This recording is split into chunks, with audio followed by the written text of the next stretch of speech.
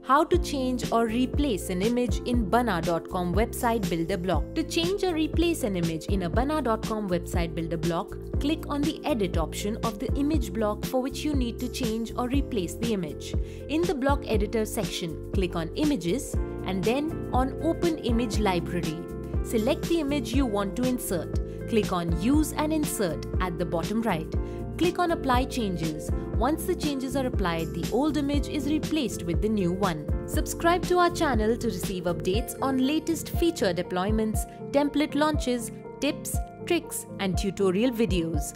Visit banaa.com and build your own website within minutes.